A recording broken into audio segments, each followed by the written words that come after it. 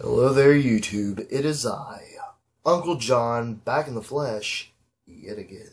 Today we are going to be talking about none other than the 2014 controversial film flick called The Interview. Yeah, this should be fun. The people who star in it are James Franco as Dave Skylark, Seth Rogen as Aaron Rappaport, and almost had the name. Randall Park as Kim Jong Un. Why was the film very controversial, you ask? Because apparently North Korea did not like the way that the United States of America was portraying North Koreans to be in a film. They didn't want us to film. They didn't want it to be released, you know, the whole nine yards, pretty much what they kept saying was that if we would dare to release such film, then they would release Merciless, one of retaliation. yeah. Yeah. Well, believe it or not, North Korea, we don't believe in anything of what you tell us. And kind of like with the citizens as well, we don't really buy into what our government tells us either. Although, they think we do.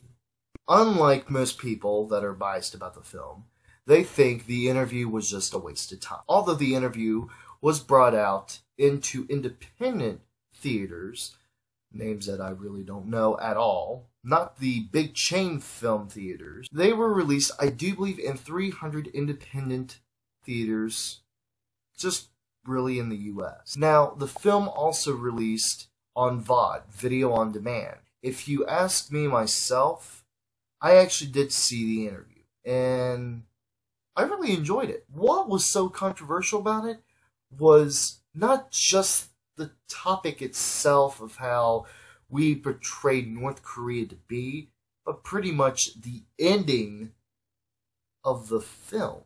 Why was the ending of the film so controversial? I'll tell you why. Because during the, one of the scenes, you see pretty much Kim Jong Un was in this helicopter firing the the, the, the, the, the, the firepower pretty much at a tank. They slow motion in slow motion flung out a missile and it slowly blew not only the helicopter up but Kim Jong Un well should I say the, the, the and what happened after that? They went back to the U.S. They celebrated because North Korea was into a new democracy. Kind of like a U.S. version of freedom, if you will. People would down the movie because it, they said, oh, there wasn't a lot of controversial things that was going on in the film itself.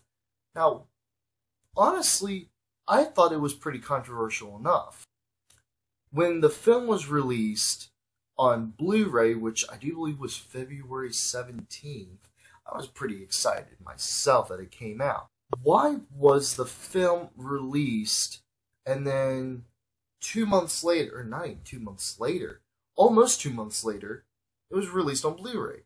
Because again, unlike Sony, I mean Columbia Pictures, they went on ahead and released the film anyway.